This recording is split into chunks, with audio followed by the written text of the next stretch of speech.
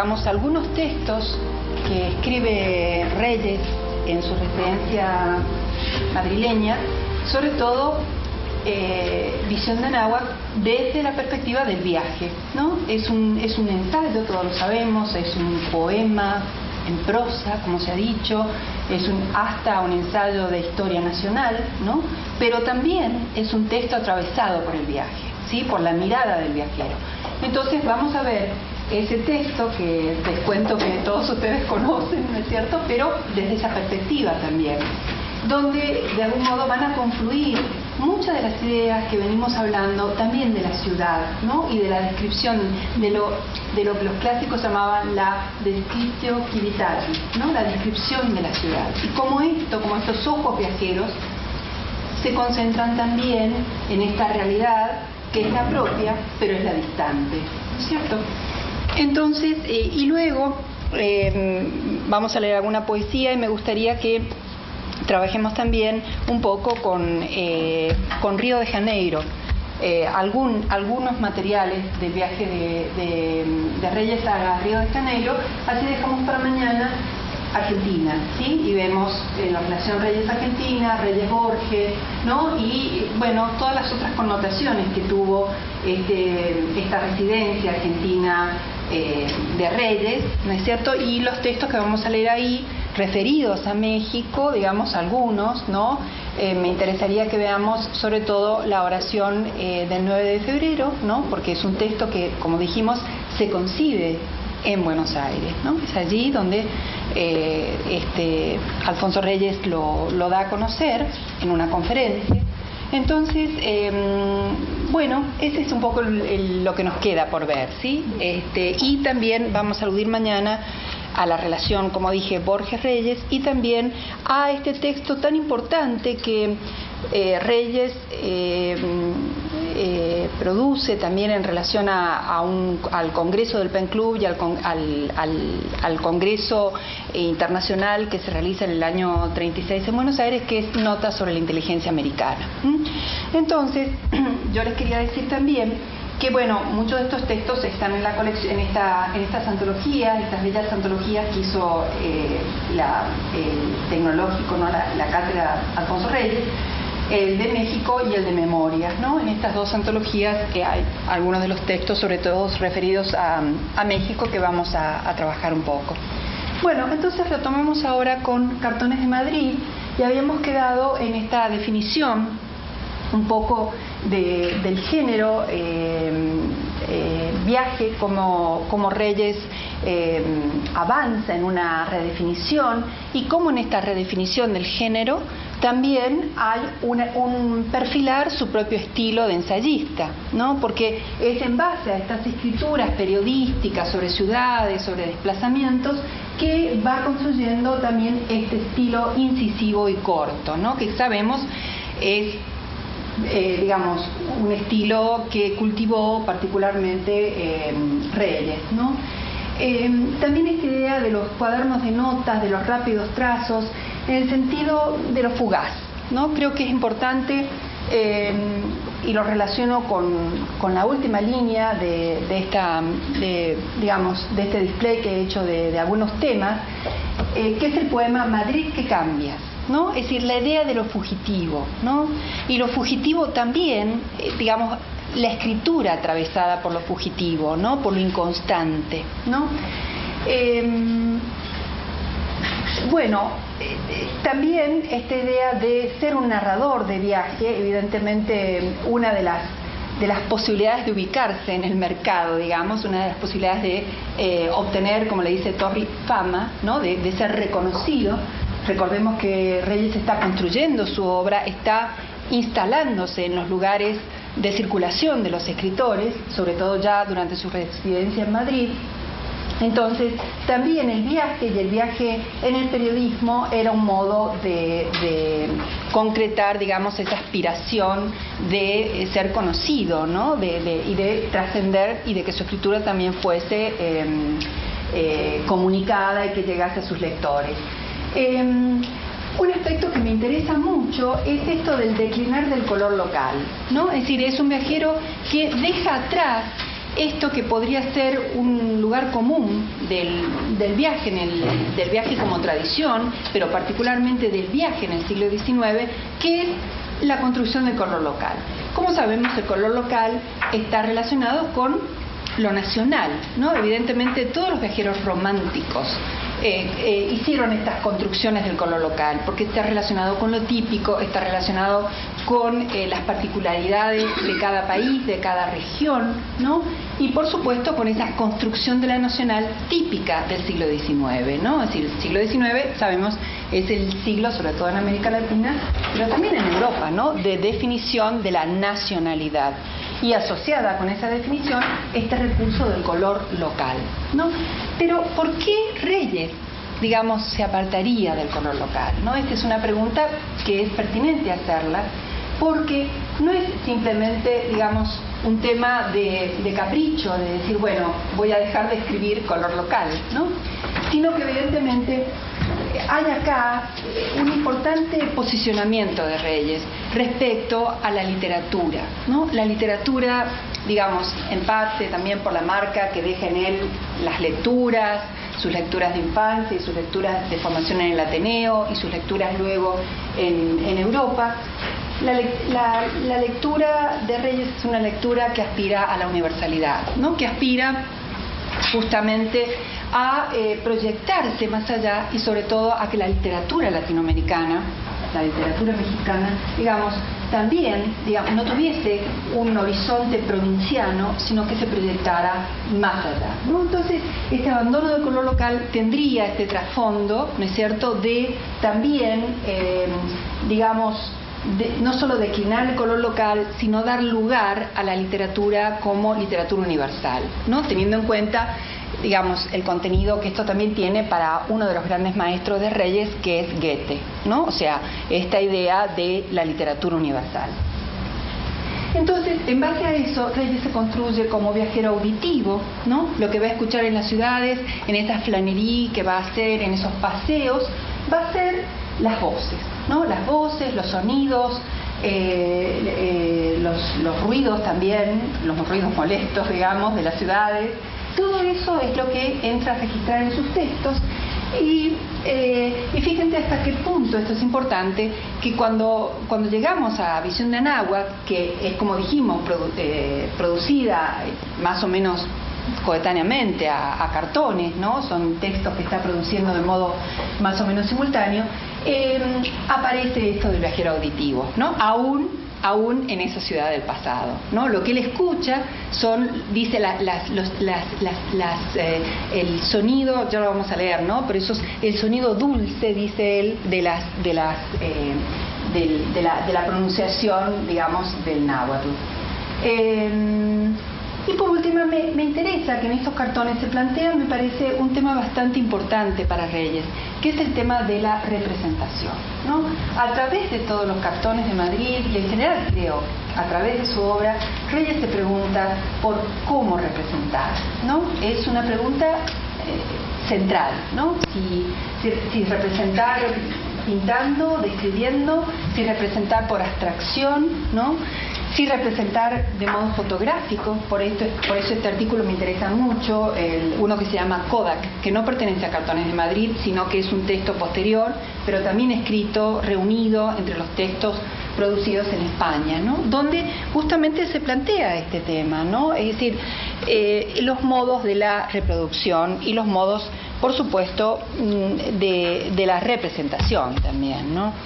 Eh, en estos cartones de Madrid eh, yo les había dicho que justamente en la dedicatoria a sus, a sus amistades, que está dedicada a, a los amigos de México y Madrid,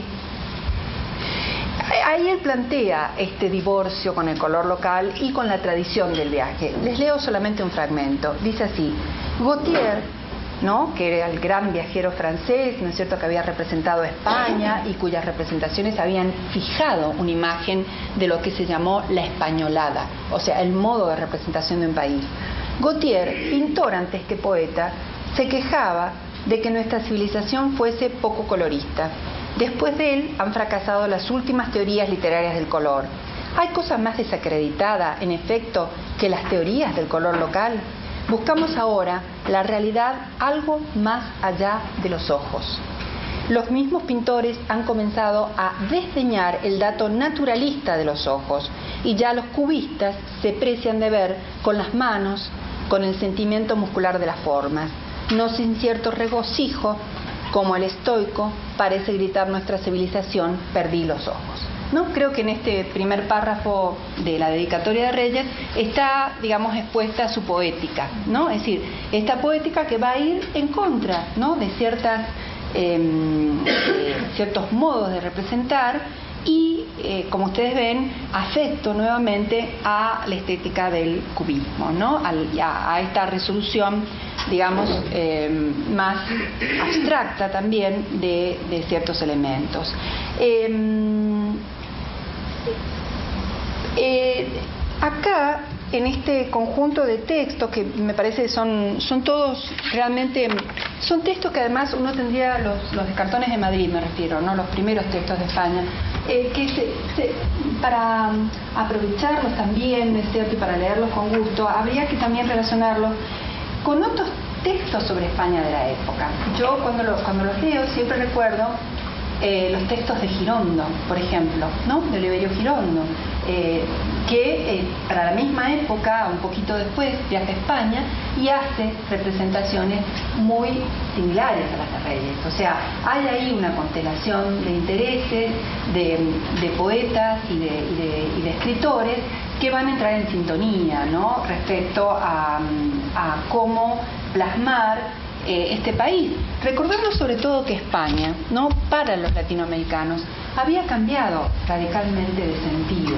¿no? Este cambio, como sabemos, se da a fines del siglo XIX, cuando la guerra de España con Cuba, ¿no es cierto? O mejor dicho, la guerra de Estados Unidos con España por Cuba, ¿no? Es decir, el litigio, digamos, para ver qué pasa con Cuba a partir de esta guerra nosotros sabemos que es el punto de inflexión a partir del cual eh, España pasa a ser revalorizada por los hispanoamericanos como, bueno, la madre, ¿no? Alguna vez madre, pero este, madre criticada mucho, pero finalmente madre, ¿no? Y volver a ella. Este fue el gesto de los modernistas y tuvo continuidad, ¿no? Tuvo continuidad en los hombres de la generación de reyes y después también, ¿no? Una nueva posibilidad de acercarse a la realidad española inclusive en el caso de Reyes, una posibilidad de acercarse a su literatura. ¿no? Sabemos que lo importante, ya lo comentamos un poco, pero lo importante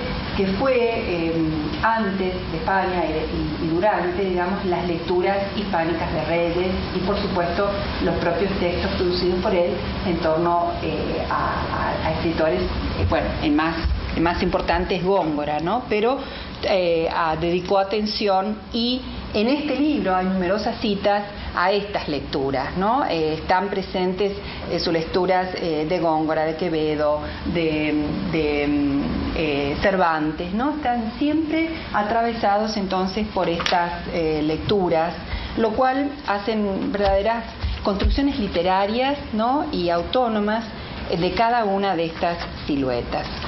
Em, en este libro también Reyes hace eh, vuelve sobre ciertos tópicos ¿no? de, la, representación de España, como es el de los mendigos, como es el tópico de los, eh, de los eh, bueno, de lo monstruoso, ¿no? Era algo bastante común en la literatura del siglo XIX reparar en esta monstruosidad que ya había sido representada por Goya, ¿no? Recordamos la obra de Goya, bueno, justamente se detiene en este aspecto digamos, de lo deforme, de lo grotesco, ¿no? Como un rasgo hispánico. Y este, Reyes vuelve, pero vuelve también con otra óptica sobre estos lugares, ¿no? Eh, invierte, transforma, por ejemplo, los mendigos dice que son, en Madrid son como, no son, digamos, un elemento urbano, eh, eh, digamos, que moleste o, que, o, que, o del cual el viajero se pueda lamentar, sino que dicen que son como cariátides, ¿no? que los mendigos realmente sostienen a la ciudad, ¿no? son como especies de baluartes, cariátides de ese, de ese espacio urbano. ¿no? Entonces, eso también me parece que... Eh, hace con que sus representaciones sean muy novedosas y realmente interesantes. ¿no? Eh, recomiendo entonces la lectura de mm, el, infierno de los ciegos, La gloria de los mendigos, La teoría de los monstruos, ¿no? son más o menos el primero, el segundo y el tercer capítulo de Cartones de Madrid. Eh, y paso un poco para llegar a uno que es donde él define justamente este tema, a ver si lo encuentro, donde define eh, el tema de bueno, el derecho de la locura también es un precioso texto, ¿no? Para, para eh, analizar, ¿no? Para analizar desde la óptica del viaje. Mm, hay un texto que tiene que ver con esto de la percepción urbana, ¿no? que es uno de los temas que me interesa charlar, eh, que se llama Voces de la Ciudad. ¿no? Está en cartones y, es un texto donde eh, es el capítulo 11 de, Cartones de Madrid, donde él se detiene en eh, justamente esto que venimos diciendo, de qué es lo que, o a través de qué percepción se se percibe y se concibe una ciudad. Entonces iba a decir así, como la tipa de Mallarmé engendra un viaje, así me resucitan las ciudades en un ruido, en una tonada callejera. ¿No? Es toda una declaración de principios. Dice, ¿no es Kipling quien habla de los olores del viaje? El tufo del camello en Arabia, el vaho de huevos podridos en Egipto, junto al Éufrates, donde Noé trajo las tablas para el arca, de pescado seco en Burna, todos reducibles a los dos colores elementales que poseen lo que en inglés llaman universal appeal, el olor de la combustión y el de la grasa que se derrite, el de aquello que en el hombre cuece sus alimentos y el de aquello en que los guisa, habla de eso, observa Kipling, y la compañía comienza a roncar, cual los gatos con la valeriana. Cada quien recuerde sus experiencias y como se dice en los libros, la conversación se hace general. Y a continuación dice, el oído posee la misma virtud de vocación. Los gritos de la calle contienen en potencia una ciudad. Los gritos de la calle contienen en potencia una ciudad. Eh, luego él va a hacer, eh, bueno, eh, varias ejemplificaciones de los, de los, de los este, sonidos escuchados en distintas ciudades, inclusive la de su, este, digamos, la de, la de Monterrey, ¿no? Con este, Nogada de Nueces, ¿no? Esta, esta conocida imagino, este, cita de, de, Reyes a, los pregoneros, ¿no? a, los pregoneros de las ciudades. O sea, este registrar entonces los sonidos cuando lleguemos a Buenos Aires vamos a leer un poema eh, que se llama mm, Candombe, ¿no? donde hace también un ejercicio de sonoridad, ¿no? y a través del nombre de las calles produce el ritmo del candombe porteño, del candombe, bueno, rioplatense, digamos, porque no es propiedad de, Buenos Aires, ¿no? es una música que compartimos con, Uruguay y, en parte en Brasil. Entonces, em, estas voces de la, de la calle, además, me interesa esta idea, fíjense ustedes cómo también está trabajando con lo que uno podría decir una geografía literaria, ¿no? Es decir, aquella geografía que construyen los escritores sobre las ciudades, ¿no? Acá, digamos, las ciudades se construyen de literatura, ¿no? Para Reyes eh, eh, digamos, la percepción de la ciudad es importante, pero también estas mediaciones, que son las lecturas de los escritores, de otros escritores que incluyen en él, y cuando, digamos, eh, tengamos presente también la importancia de Proust en, en, Reyes, ¿no? Y esta idea evocadora, ¿no? Como dice, de, cualquier elemento puede surgir una evocación, una asociación, ¿no? Recordemos la afinidad y la, eh, digamos, la, también la pasión de Reyes por... Eh, por Proust, ¿no es cierto? Que este, evidentemente también está relacionado con este cambio del registro. Em, bueno, les decía el problema de la representación también. En esta, este capítulo que se llama La Kodak es muy lindo porque es casi una crítica a la fotografía, ¿no? Porque dice eh, que la Kodak lo que hace es detener, ¿no? Es decir, la, fotografía detiene aquello que es fluido, que es la vida, que es, que es eh, digamos, la realidad. Eh, es muy interesante, bueno, por varias cosas. Primero, no es que Reyes sea digamos, que haga una reacción a los nuevos medios, ¿no? Como harían otros intelectuales en su época, no sé, estoy pensando Adorno, ¿no? Que reacciona a la cultura popular, ni mucho menos, ¿no? Eh, al contrario, eh, él está abierto a lo que, a lo, digamos, a los nuevos géneros continuamente. De hecho, eh, bueno, trabaja en medios del periodismo y, es crítico de cine, o sea, está totalmente abierto a las nuevas manifestaciones de la representación artística, periodística. pero este es, un, es muy interesante porque está volviéndose el tema de la fotografía, ¿no? Y de la fotografía digamos, como, eh, y haciendo una reflexión, digamos, que nosotros podríamos comparar inclusive con ese texto de Benjamin, eh, la obra de arte en la época de su reproductividad industrial. ¿no? O sea, esta idea de que la reproducción va a terminar afectando el aura, va a terminar afectando, digamos, lo artístico ¿no? de, de las producciones. ¿no? Y acá uno podría decir, bueno, Reyes eh, está haciendo esta reflexión casi paralelamente con eh, otros intelectuales ¿no? que están preocupando tanto por los nuevos medios como eh, por cómo va a afectar, digamos, la, la técnica, cómo va a afectar los modos de reproducción, el modo como percibimos el mundo y el modo como percibimos el arte también, ¿no? Entonces, eh, bueno, recomiendo por supuesto su lectura. Eh, es, mm, dice, lo trágico, lo imperdonable es la Kodak. La Kodak nos ha revelado, eternizándolo por ahora, lo que hubiéramos querido saber. ¿No? Y ahí cuenta una anécdota, recuerden la importancia de la anécdota que hablamos la, la vez pasada, eh, donde eh, hay un, incidente callejero, dice, dos guardias tiran de los brazos de un hombre, como, quisieran como si quisieran desarticularlos de las clavículas, desenchufarlos. El pobre hombre, imagen de la improvisación, se había echado a la calle en camisa, víctima de la idea. La idea, eh, tengo, tengo la idea, ¿no? Cuando es escrita así con mayúscula, creo que es un anarquista. Si alguien me lo puede, creo que sí, también en el Río de la Plata idea con mayúscula era la cocaína. Más que resistir, las piernas parece que se le doblan. Y en segundo plano, con toda la inestabilidad y la torpeza del gesto, sorprendido a medias, hay una mujer arrodillada, los brazos abiertos, implorando. Entonces, describe y paraliza, digamos, una situación callejera en esto eh, que capta la máquina Kodak. Dice, ya no puede haber alegría en la tierra, ya la coda fijó y coaguló el dolor fluido, la gota de sangre del instante. Entonces, em, bueno, eh, creo que es una pregunta más, entonces, por este, el problema de cómo representar, ¿no? que es uno de los problemas que eh, se plantean los escritores, sobre todo cuando se ven a sí mismos como innovadores de la lengua, ¿no? Y es el modo y es la autoconciencia que tenía Reyes de su propia escritura, ¿no? ¿Cómo representar? hay un poema que tiene que ver con esto de lo, fijo y de lo fugitivo que eh, yo quería que, leyéramos.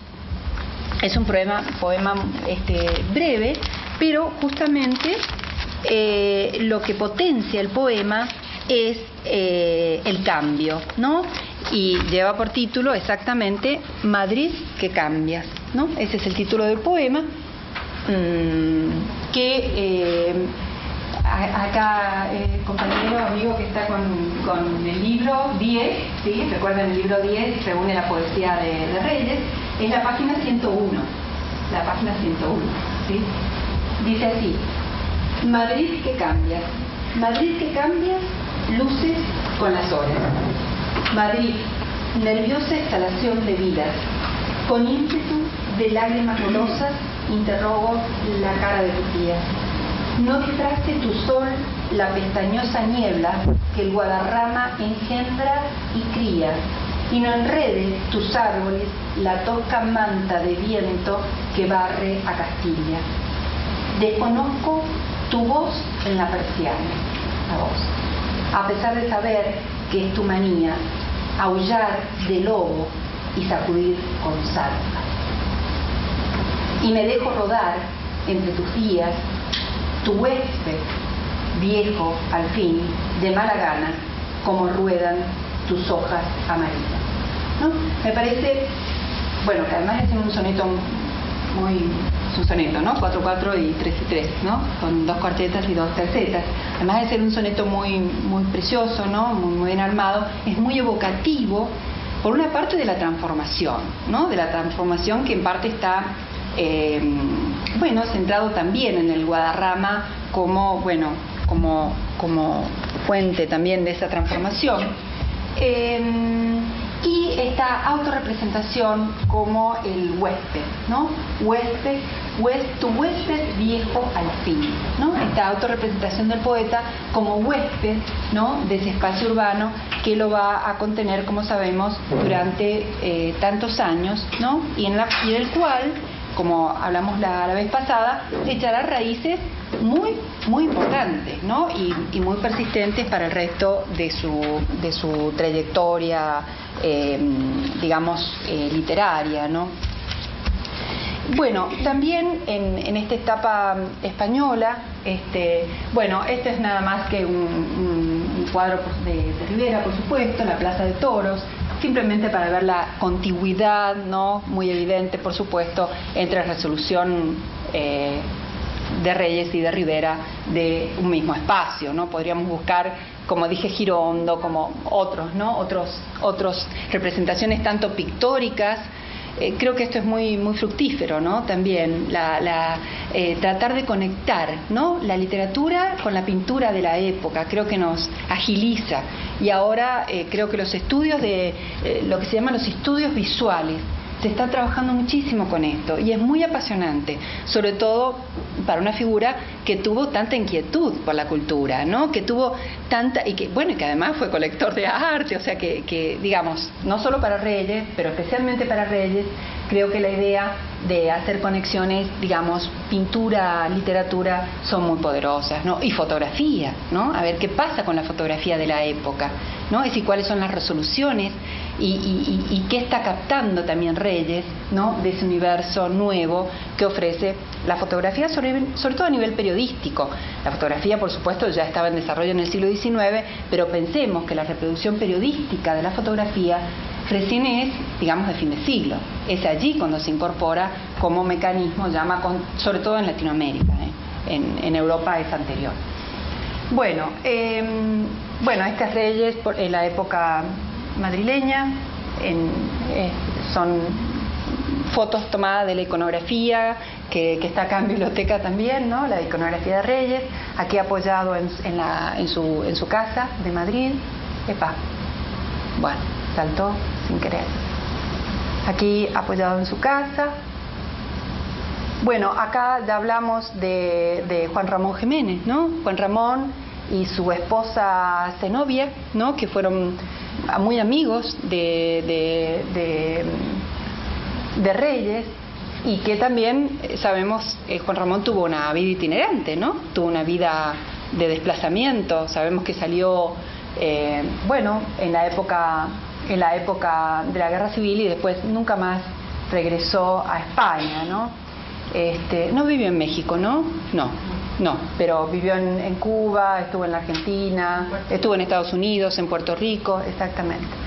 Bueno, ay, esta, esta también nuevamente está con, colegas, eh, acá está, mm, a ver, eh, el, de el de Bigote me parece que es el chileno... Eh, eh, Contreras, un periodista que, que conocía también, eh, evidentemente lo visita en, España, porque eso dice la iconografía, ¿no?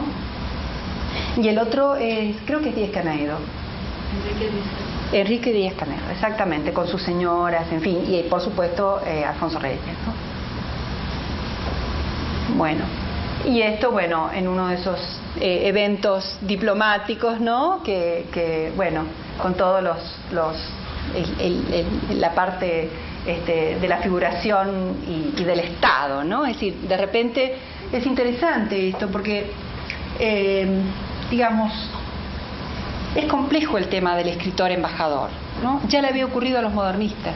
Piensen ustedes, casi todos fueron cónsules porque también era un modo de vida. Había una, una tradición de que el escritor tenía que cumplir el papel de representante del país, ¿no es cierto? Entonces había una tradición importante en la cultura latinoamericana del escritor representante, ¿sí?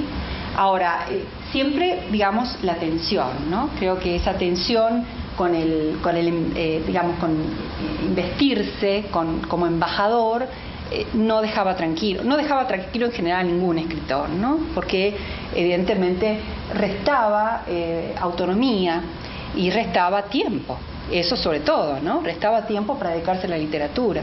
Hay un famoso retrato de Darío, todo vestido de embajador, no sé si lo recuerdan, que se ve como todo así, este, en fin, todo empaquetado, ¿no? Pero, pero, este, pero incómodo, ¿no? Finalmente incómodo.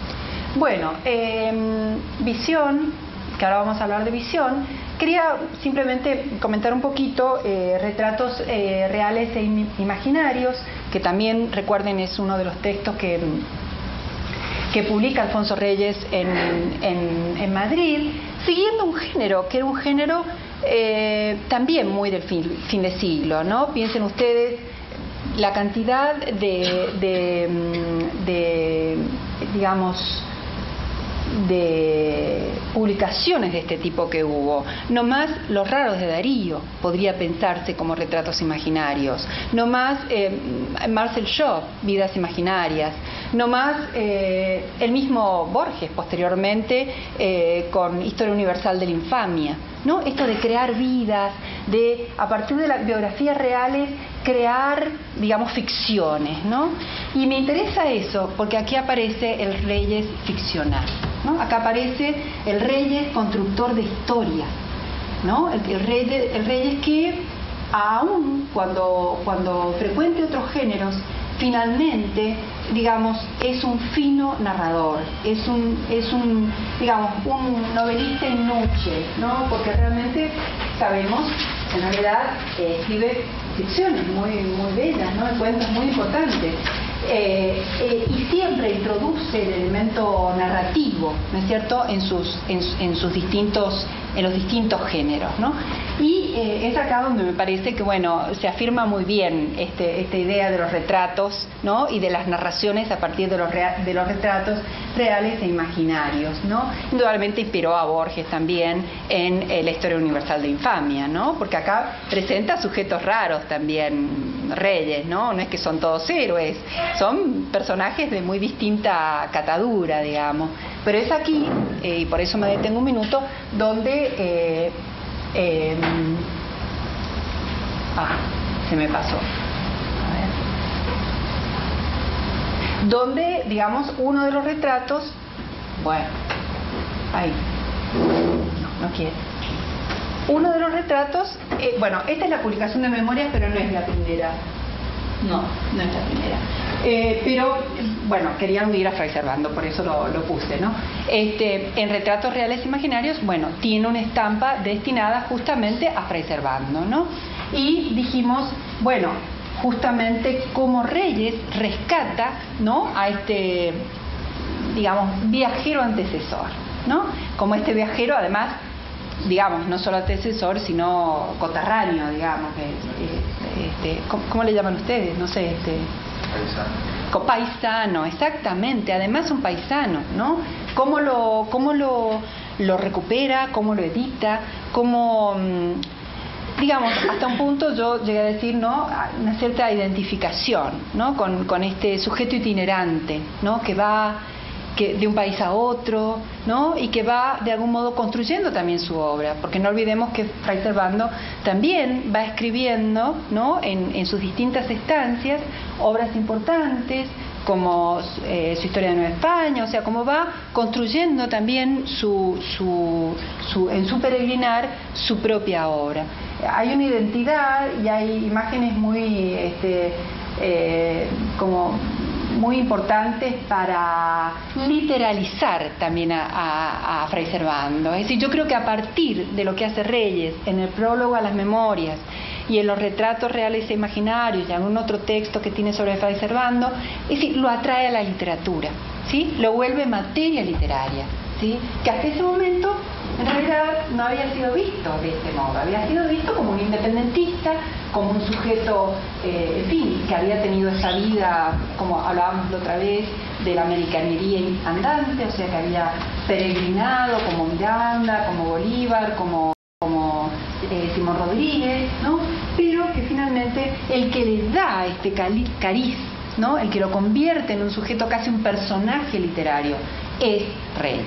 ¿No? Entonces, yo creo que uno tiene que tener en cuenta estos gestos, porque estos gestos también construyen la literatura, ¿no? La literatura que vendrá, porque él lo está haciendo cuando luego otros escritores van a retomar esta imagen y la van a potenciar, ¿no? Entonces, las memorias de Cervando, em, y, bueno, de algún modo uno podría en, algún punto, cuando, cuando habla de, de, de, Servando, eh, evidentemente hay, hay este, no pero se escucha, ¿no? No sé el micrófono, pero se escucha, ¿no? Me olvidé por completo, ni, ni, me, ni me acordé. Pero, este, digamos, durante estas, eh, digamos, en, las, en las figuraciones que hace de, de Servando, este, eh, bueno, por ejemplo, el tema de la fuga, ¿no? El tema de, eh, de, esta capacidad, dice él, eh, de esfumarse o de evaporarse, usa una palabra por el estilo, referido al modo, a esta movilidad, ¿no? Y a este referente que, que, que bueno, con el cual podría decir Fray Servando soy yo, ¿no? Es decir, ese, ese nivel de identidad, ¿no? Tipo eh, Flaubert con, con, Madame Bovary, ¿no? Creo que es un poco lo que produce Servando con eh, Reyes conservando, ¿no? Em, bueno, hay otro texto importante, si bien es anterior, lo sabemos, el plano oblicuo, ¿no? Pero es acá, digamos, donde em, son textos anteriores, ¿no? Son previos al viaje.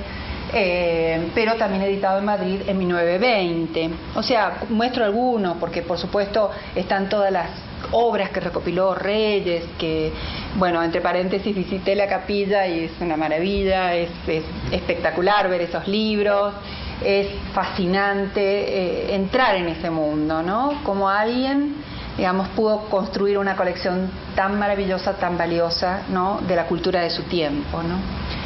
Eh, bueno, y acá aparece algo mm, que me interesaba, pero solamente para pasar, que es, bueno, un, texto muy canónico, el de la cena, ¿no? Eh, un cuento precioso, muy, muy, muy perfecto, ¿no?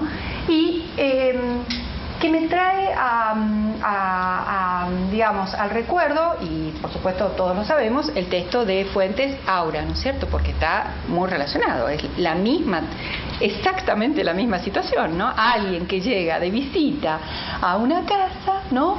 Y eh, de repente esas personas que lo reciben, digamos, son fantasmales y, ocurren situaciones irreales, ¿no? Que es luego lo que, bueno, por supuesto, elaborado y todo demás, nosotros leemos en Carlos Fuentes en Aura.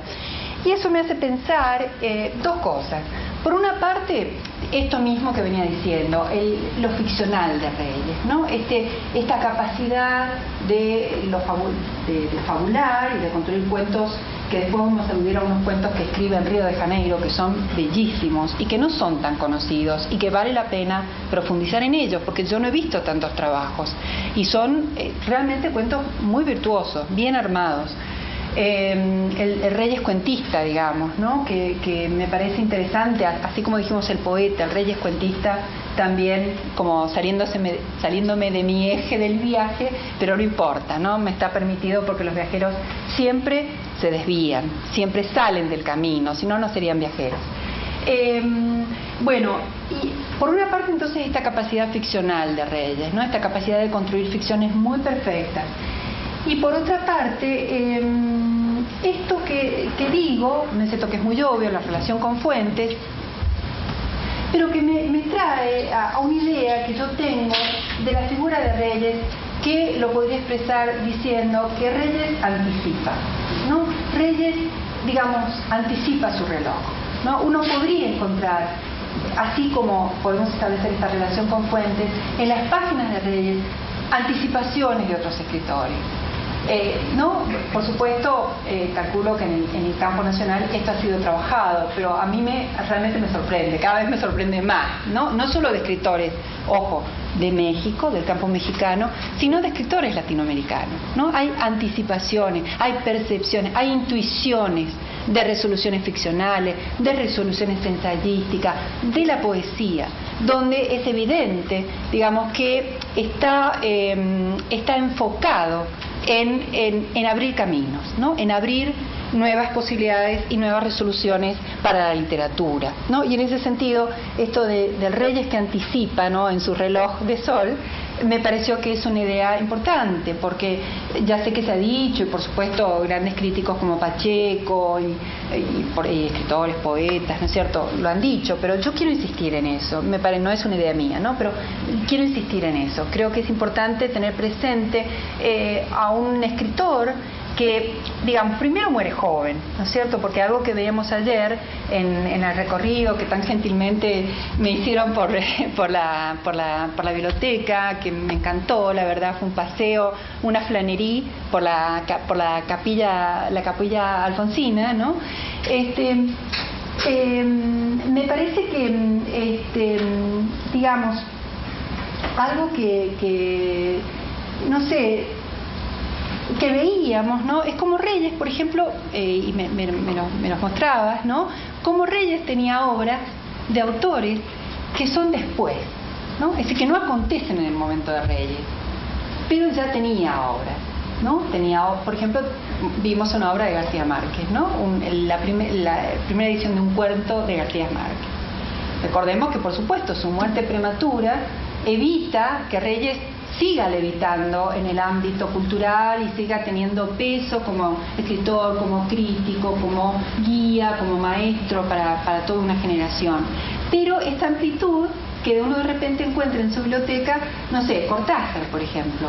Ignoro si Cortázar lo conoció, si, Cortázar, si él escribió sobre Cortázar, me parece que no, pero tiene, tiene las primeras obras de Cortázar. Eh, bueno, y así como ese, otros escritores, ¿no? Es decir, que también hay que pensar un escritor de muerte prematura, ¿no? Porque era joven, eh, ¿qué edad tenía cuando muere? Bueno, era joven todavía, podría haber, ¿no? Podría haber perdurado aún más en, en el en, digamos, en el campo literario, ¿no? Sobre todo porque era un referente fuertísimo. Eh, Borges muere en el 80, eh, muere con ochenta y tantos, ¿no? podría haber tenido la longevidad de Borges, ¿no? ¿Más grande no Borges? No, ochenta y tantos. No, noventa no llegó a tener, ¿eh? ¿Recuerda a alguien qué tal muere Borges? ¿89? Bueno, 89, estamos ahí. ¿Pactamos con 89 o, o seguimos acá en la negociación? Qué bueno que se recuerde, yo no recordaba, eh, pero sabía que el 80 y tantos. miren, Borges hay una cosa. Él siempre dice que nació eh, en 1900, pero según todos los registros en, en, el 1899. Lo que pasa es que pareciera que la altera para nacer con el siglo. Esa fue una historieta, estas anécdotas que te cuentan, ¿no? Pero, pero es cierto, claro, y muere en el 89, está bien, pues son, son 89. Sí. O ganaste, son 90. Si, si, nació en el 89, son 90. Bueno, va a quedar el misterio. Yo quería decir algo ahora que mencionas eso de la muerte prematura. Sí. Eh, algo muy gracioso o curioso. Eh, hay un eh, en México un premio internacional que es el más importante del país, que es el Internacional Alfonso Reyes. Y eh, Borges fue el primero que lo recibió. Y que favorece la internacionalización de Borges. Esto. Y ahorita pasó algo muy chistoso y ayer estuve hablando con la encargada del Bellas Artes de Literatura y, y estaba muy ofendida porque en el Colegio de México crearon un, otro premio Reyes, sin, sin, autorización de la familia de Alicia Reyes y de Limba, porque se supone que Limba protege todo lo que es el emblema Reyes. Y a mí esto me parece muy, muy interesante desde el punto de vista de que cómo las instituciones y los mismos autores ah, siguen acogiendo a Reyes de manera emblemática y lo siguen defendiendo e incluso lo disputan. Es, es muy interesante. Muy interesante. Ya, ¿no, ¿No tienen la autorización de, de, no, Alicia? No. ¿Va a pasar como con el premio Rufo entonces? Pero Alicia no, no, o sea, Alicia tiene una nobleza infinita, no creo que llegue a, como a la familia Rufo. No. No. Eh, bueno, pero es cierto, es interesante, o sea, vuelvo a lo que planteaste, o sea, el tema de cómo un escritor, digamos, da jerarquía, ¿no? Con, su, con su nombre a... Bueno, em, eh, antes de pasar, vamos, volvemos a Visión de Anáhuac, ¿no es cierto? Y acá un poco eh, esa hipótesis que, que habíamos planteado al, al, comienzo de, este, digamos, el estar aquí y el estar acá. ¿No es cierto que es algo eh, continuo en redes, ¿no? Esa posibilidad de integrarse en los espacios intelectuales, en la sociabilidad intelectual eh, de Madrid, de París, ¿no es cierto?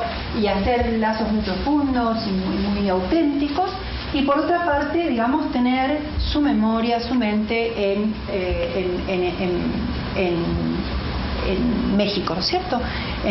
y además, eh, digamos, lo que me parece interesante, bueno, esta es la edición del 23, no, no es, es la que encontré, pero no es, por supuesto, la, la primera. Eh, lo que me parece interesante es como esto que venimos hablando del viajero y del viaje, del desplazamiento, de la mirada de afuera, confluye en este texto, ¿no? Visión de Anáhuac. Un texto, digamos, tan importante, eh, tanto eh, para, para, digamos, para la obra de Reyes, eh, como, digamos, para una historia literaria, por supuesto, porque es uno de los ensayos de digamos, sería uno de los ensayos de interpretación nacional, el, primer ensayo de interpretación nacional realmente moderno, ¿no? Porque uno podría decir, bueno, ¿qué ensayo antes de Visión de Anáhuac? ¿Qué ensayo antes de Visión de Anáhuac? Por supuesto que se nos viene a la cabeza, nos viene a la cabeza otros nombres, ¿no es cierto? Podemos pensar, por supuesto, el, el Ariel de Rodó, que no es un ensayo de interpretación nacional, pero es un ensayo de interpretación continental. No, pero hay, hay luz entre el estilo de Rodó y el estilo de visión Es, han pasado 15 años, pero parece que hubiese pasado un siglo, ¿no? En la capacidad de producir una forma, de producir una escritura nueva.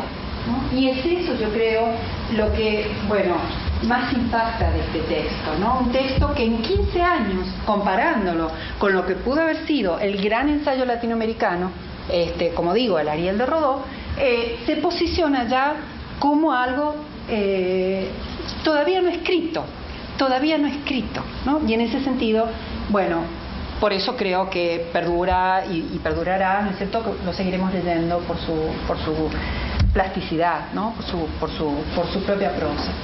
Bueno, yo puse acá algunos puntos, pero me gustaría quizás eh, también ir al texto, porque em, eh, aunque yo sé que es un texto que ustedes lo deben conocer como, como el Padre Nuestro, los que rezan, pero bueno, este, es un texto, digamos que como los, buenos poemas, siempre vale la pena volver a ellos. ¿no? Eh, bueno, eh, yo puse acá algunos puntos que primero me detengo solamente para, para, hacer un punteo ¿no? de características, aunque después en el, en el texto me gustaría marcar otras cosas. Primero, esta, eh, digamos, eh, síntesis ¿no? que realiza Reyes entre eh, lo clásico y lo barroco. ¿no? Esto, inclusive, por eso puse entre comillas lo de retablo churrigueresco, ¿no? por la idea del arte barroco como un arte recamado, ¿no? un arte recargado, ¿no? por eso lo del retablo. Y esto es una cita, por cierto, ¿no? es una cita del propio Reyes cuando le escribe a Pedro Enrique Sureña y le manda la primera versión del texto. Entonces Pedro Enrique Sureña le dice, no, pero lo tienes que poner más simple, porque está un poco lleno de, cosas.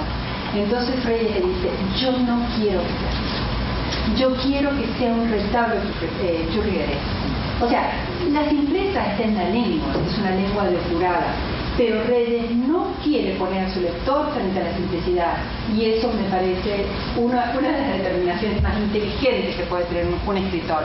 No subvalorar a su lector, ¿no? exigirle a su lector, exigirle que haga el esfuerzo de entendimiento. Y eso es, por eso es que él defiende desde a, a digamos, su corresponsal, su amigo, su maestro, aunque no había tanta diferencia, pero era de algún modo su maestro, eh, defiende que tenga complejidad el texto. Dice, yo quiero que sea difícil, no quiero simplista, no quiero simplista, ¿no? Que sea un desafío, que sea un desafío para quien lo lee.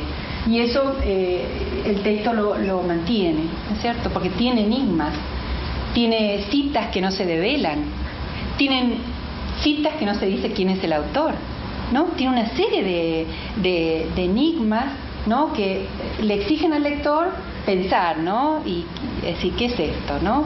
¿De dónde viene? ¿Cómo lo hizo? Bueno, por supuesto, la forma, ¿no? Lo que dije, la forma nueva, ¿no? Esto es lo que uno, lo que impacta cuando uno lee Visión de Anáhuac. Eh, primero, bueno, la idea del fragmento, que como ya hemos insistido bastante, aparece copiosamente en estos textos europeos de Reyes, ¿no? esta idea del fragmento que proviene de su experiencia también en ciudades este, muy modernizadas, ¿no? y, con un ritmo eh, que también, y el, arte lo apropia, el ritmo del fragmento. Y la idea del tríptico, ¿no? o sea, el fragmento se ve reforzado por esta disposición que tiene el texto en tres partes y una coda, ¿no es cierto? Son, eh, el texto está dividido, ¿no es cierto?, con números en, cuatro, en cuatro partes, ¿no? Entonces, un tríptico, ¿no? Este, que, que nosotros podemos plegar inclusive, eh, y con esta coda importante eh, donde como un volver, una coda reflexiva sobre, sobre, sobre lo que se ha hecho.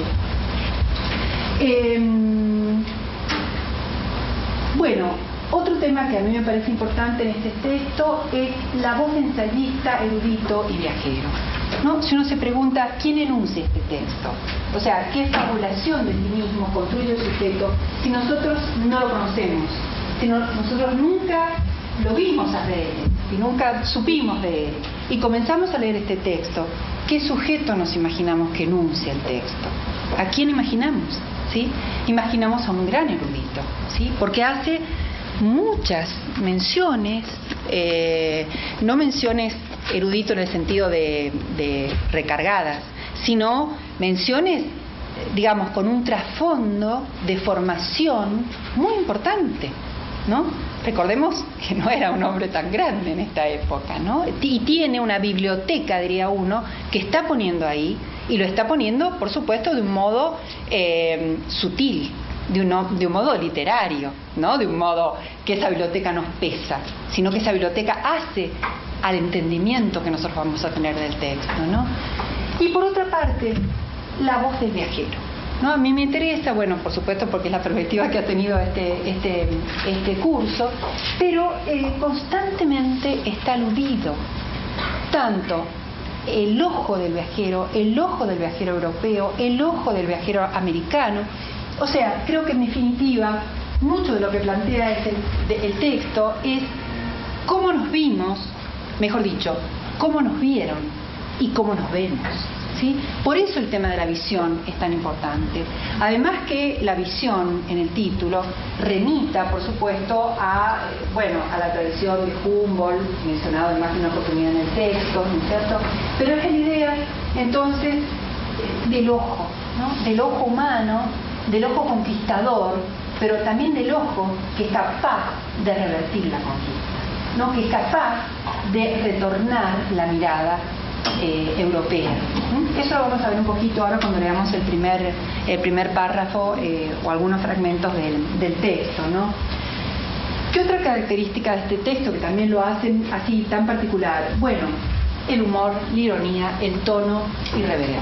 ¿no? Esto está de modo continuo. Nos damos cuenta que este, este mm, enunciador del texto está como continuamente eh, eh, haciendo mofa o riéndose de ciertos elementos que cita. Recuerdo muy bien, por ejemplo, cuando eh, menciona a Bernal Díaz del Castillo y dice que es un el conquistador atolondrado, ¿no?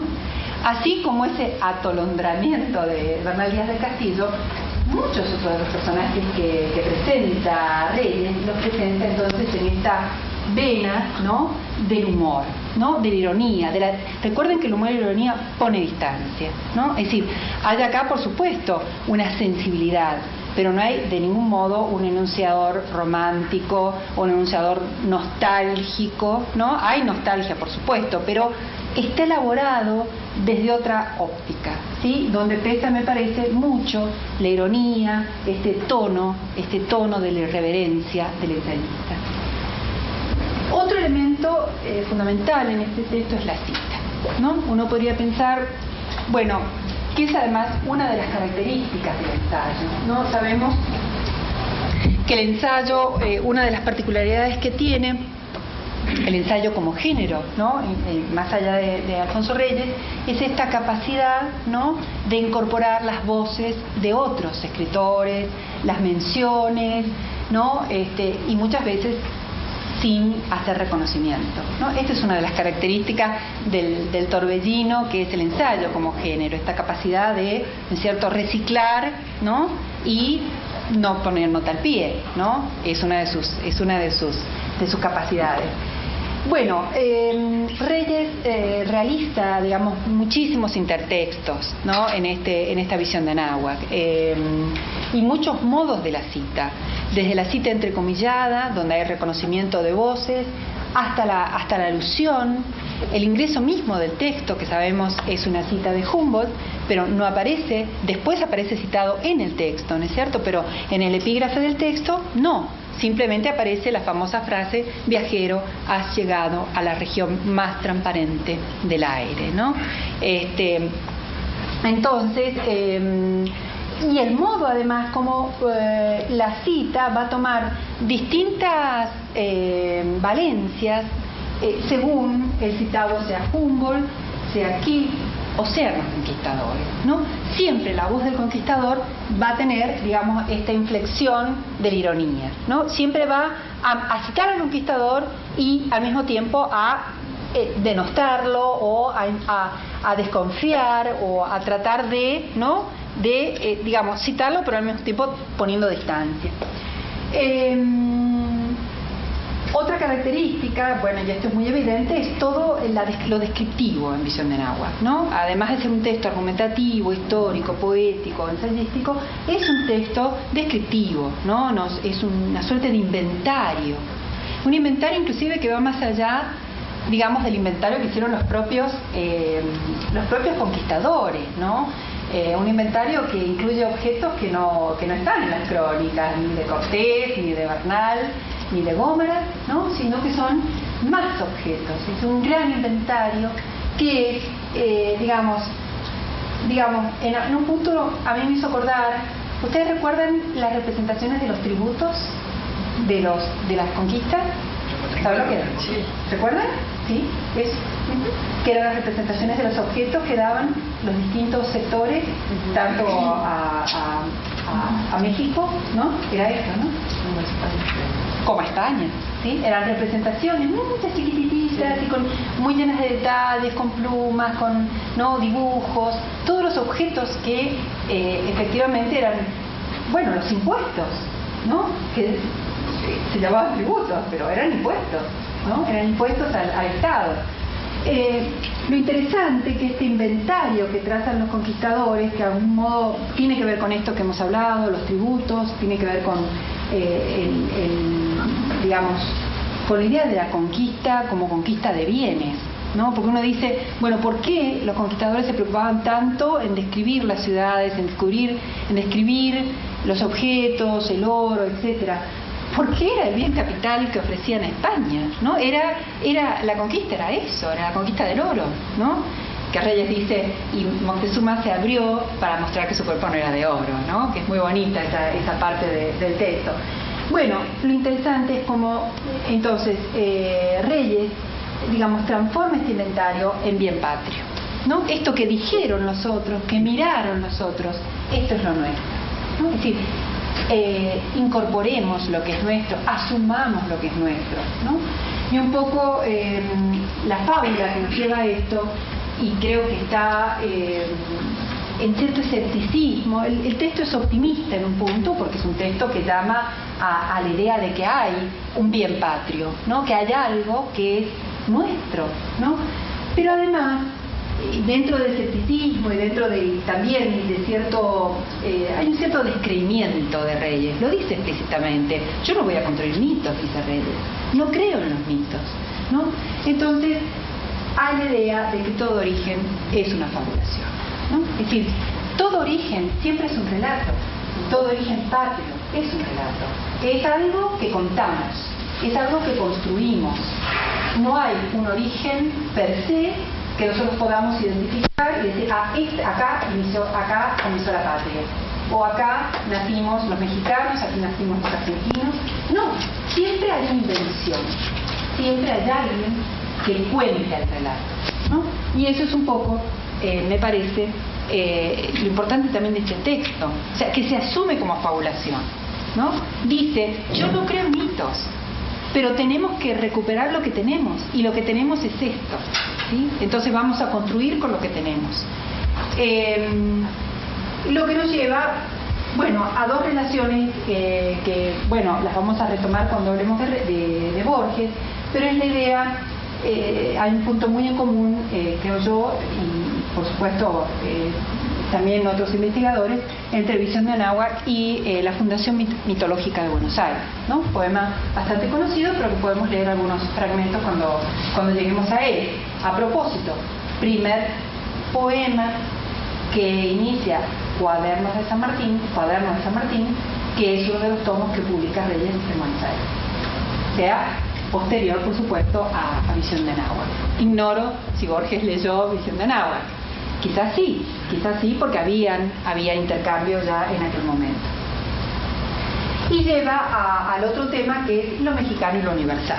¿no? Esta idea que está muy presente en el texto de que lo mexicano eh, y que, digamos, que lo mexicano puede justamente construirse a partir de la aceptación de la pérdida. ¿sí? Él lo dice muy claramente al final del texto, ¿no? Tenemos que aceptar que esto es lo que quedó pero al mismo tiempo no desaprovechar, dice él, ningún elemento de belleza, sea del origen que sea.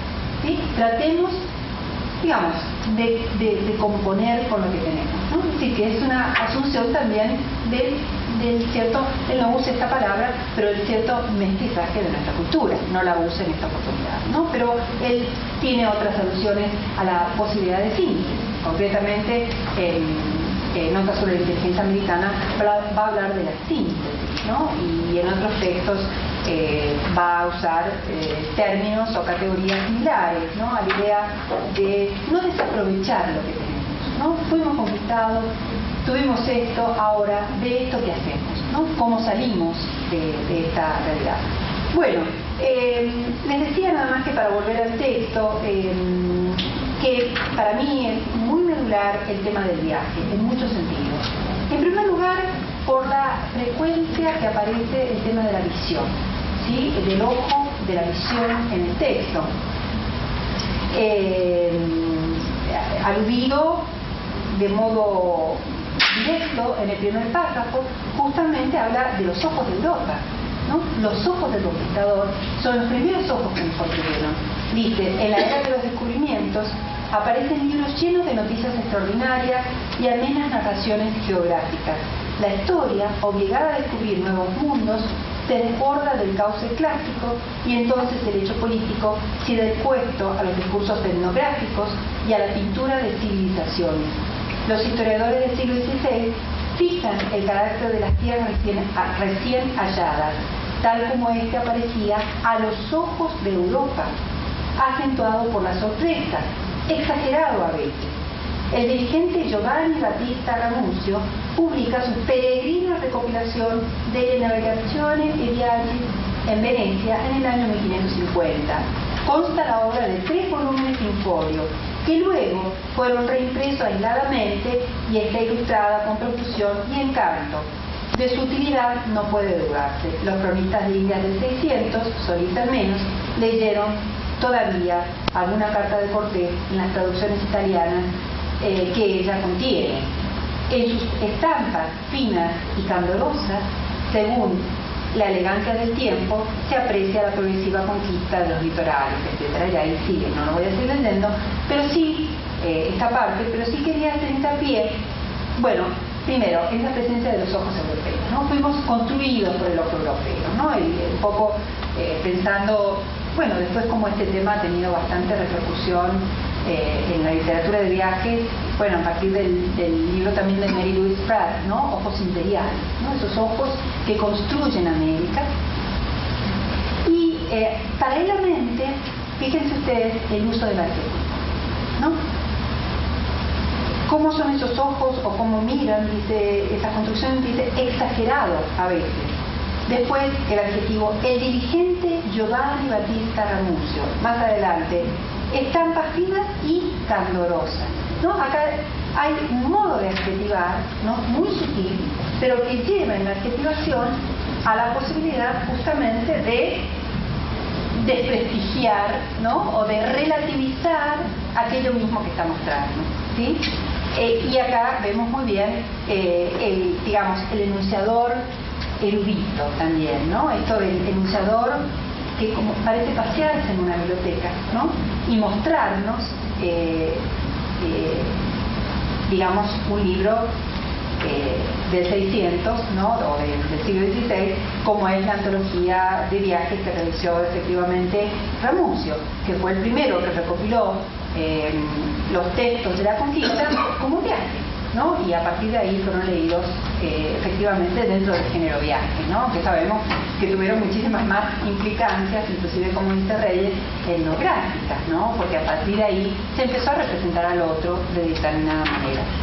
Em, bueno, el viaje aparece de modo, de modo continuo em, y aparece em, también el, viajero americano, uno de los fragmentos inicia el viajero americano, etcétera, eh, trabaja también con ciertas construcciones estereotípicas que han hecho los europeos sobre el paisaje americano. ¿no? Recuerden que el paisaje era un tema de interés para Reyes, ¿no? ya tenía un, texto donde analizaba el paisaje, en, el paisaje en la poesía, ¿no? Eh, sí, el paisaje en la poesía mexicana. Entonces, em, la idea de, de un paisaje, de un paisaje también inesperado, ¿no? Porque él dice que para el ojo europeo, en realidad, eh, el estereotipo era la selva virgen, ¿no? Y que en realidad eh, Anáhuac lo que ofrece es una vegetación, dice, arisca y heráldica. ¿no? Fíjense qué interesante porque continuamente también esto nos va enfocando a algo que hemos visto en los cartones que vimos en París Cubista, que es esta idea muy geométrica y estilizada, ¿no? del modo de construir su propio su propia ciudad, por supuesto una ciudad del pasado, ¿no? Pero ya la está construyendo como con elementos cubistas o, geométricos, estilizados, eh, eh, de algún modo eh, sí, sublimados, ¿no? Eh, y privilegiando, por una parte, sí, esta idea emblemática, pero también por otra parte sabemos la crítica a la destrucción y, la desertificación que eh, hace extensiva, digamos, desde 1449, o sea, preconquista hasta, hasta por supuesto, lo que llama la paz augusta, o sea, más adelante lo cita Porfirio Díaz, ¿no? O sea que también hay acá un posicionamiento político, ¿no? Un posicionamiento crítico frente al, al, porfiriato. Y eh, este, quería ver si, bueno, la descripción de la ciudad, ¿no? que es maravillosa en el capítulo 2, que luego este, habría que, detenerse en esta descripción, porque bueno, también es una ciudad oída, ¿no? Es una ciudad vista, descrita, pero también es una ciudad oída. Óyense unos dulces chasquidos, fluyen las vocales y las consonantes tienden al licuar. ¿no? Esta ciudad percibida entonces nuevamente de modo auditivo, bueno, el recorrido también, un recorrido, un recorrido que eh, de algún modo está respetando el orden de las crónicas, que es la mirada en conjunto de la ciudad, la visita al templo mayor, el mercado, sí, está respetando cierto trayecto ¿no? urbano que efectivamente uno puede reconocer en, las crónicas, pero también, como dije, está invirtiendo estas, estas lecturas a través de esta adjetivación, eh, esta adjetivación muy sutil de ciertas eh, de ciertos personajes o, de ciertas situaciones. Bueno, em, paso ahora a eh, Río de Janeiro, ¿sí? Este, para eh, cambiar de espacio, pero podemos volver a Anáhuac, vamos a volver cuando, cuando hablemos de cuando hablemos de, de ¿sí? Podemos volver porque hay, hay cosas que de todas maneras siempre queda en el aire, ¿no? Siempre hay, tan, tan fabuloso ese texto que siempre queda algo, algo que uno más quiere decir. Bueno, voy a hablar primero de Río, vamos a hablar primero de Río un poquito nada más. ¿Por qué? Eh, porque mañana entonces vemos bloque Buenos Aires y ahí digo para no ir y volver, ¿no? Este, Río de Janeiro sabemos eh, que tiene dos estadías, 1930, 1936 y 1938, ¿no? Em, eh, bueno, Río es muy curioso la actitud o, las relaciones, por supuesto, de, Reyes con Río. Eh, por una parte, hay, muchos críticos que dicen que se ocupa excesivamente de los trabajos, eh, de los trabajos eh, de embajador, oficinescos, etcétera, que indudablemente su, lugar le prescribían de hacer. Eh, pero también hay algo que a mí me llama la atención y, sobre todo me llama la atención en la poesía que escribe sobre el río, de la cual vamos a leer alguna, que es una ciudad muy sensorial para, para Reyes. ¿sí?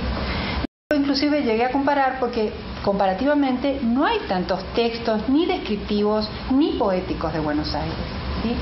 Es decir, pareciera que el intelecto de Reyes estuvo muy depositado en Buenos Aires y todo el cuerpo y la sensorialidad estuvo depositada en Río. Es una hipótesis. ¿Cómo? Es que en Río se enamoró. Se enamoró, también en Buenos Aires. ¿eh? Pero acá fue... No le quitemos mérito. Pero acá, acá colapsó el Sí, aquí colapsó. Acá colapsó, inclusive hay un relato erótico muy hermoso, eh, historia de una pasión. Sí. Eh, que está en el volumen 23 de la obra completa. Pero es casi lindero con, ¿no? Es bravo ese relato. Historia de una pasión. Es un hombre asediado continuamente por su amante y él se la tiene como sacar de encima y después se arrepiente de habérsela sacado de encima. Porque ella le exige, le exige. Es Cecilia Meireles, la escritora. Pero es absolutamente seguro que... Es... Y es lo que dice todo el mundo, pero es como una anécdota. Un chimento, no lo sé. Vos piensas que no, que no es Cecilia. No, yo quiero que sea Cecilia. Ah, bueno. Entonces vamos a construir la fábula, vamos a construir la fábula que sí era Cecilia. Pero lo dice mucha gente que era Cecilia. Es que hay otra versión de que, de que era una la esposa de un de otro embajador extranjero, o sea, de un embajador. Y yo lo que, lo que es que yo estuve tratando de indagar al respecto y en las cartas no hay este, alusiones específicas de amor en las cartas, solo que fueran muy cuidadosos los dos. Claro, y en los diarios, que los diarios que se han editado ah, recientemente, hay, hay que ver esos diarios. De todas maneras, bueno, no importa, lo importante es que bueno, un enamoramiento, ¿no? Porque a veces uno se pone así como muy inquisidor, ¿no? Que quién estuvo, que hizo el chimento, ¿no? Eso es tremendo, pero bueno, forma parte de, nuestra curiosidad. Hay una frase que no la recuerdo de memoria, pero que es desgarradora en este texto que tú citas de la pasión, ah. o sea, es desgarradora, de cómo se lamenta de haberla sí. de haber de haberse sí parece que él ella lo asediaba le exigía y bueno en el relato no aparece el nombre pero es evidente que es un relato autobiográfico no y él dice que después eh, es como que él le escribe a un amigo una cosa así y le dice que se arrepiente de haberla perdido no Pero sí, y eso se traduce en, sus textos. En la, poesía es muy corporal, es muy, muy pasional la poesía que no ocurre, digo, este, por eso creo que dejó el cuerpo en Río y dejó el intelecto en Buenos Aires, o no totalmente, por supuesto, por su intelecto también estuvo en Río, pero quiero decir que eh, en ese sentido fue una ciudad muy sensorial para, para, para Reyes, ¿no? una ciudad importante. Y mm, eh, bueno, un poco, bueno, algunas de las ideas que, que, les quería comentar y que tiene que ver con dos textos que yo había mm, eh, había elegido eh, de, un conjunto de textos sobre río, a ver si lo localizo, acá está. Sí, esto eh, está en el volumen 9, ¿sí? en el volumen 9 de la obra completa de Reyes, que es Historia Natural las Laranjeiras.